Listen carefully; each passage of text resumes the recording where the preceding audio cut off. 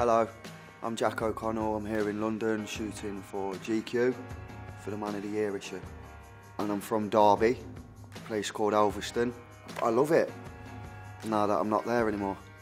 I'd like to nominate Mr. Louis Zamperini of Man of the Year, please. He's a tremendous human being. And I never once seen him regard himself as anything other than ordinary. Woman of the Year, for me, Angelina Jolie. She did a good job of directing me. And uh, yeah, she's very, very patient with me, and I think that's a necessity, I reckon, with me from time to time. There's very few people that I've ever seen commit themselves to that degree anyway, on a daily basis.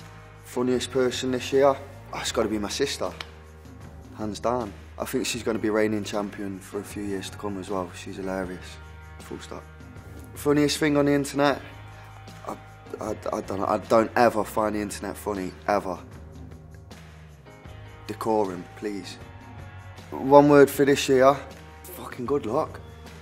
I can't sum up anything in, in one word. I can't even sum up my name in one word. Uh, what did I do this year that I'd never want to do again? Um, oh, eat in this hotel.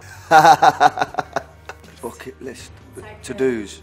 To, on my to dos. Go to Texas. See where country music or rock and roll music began.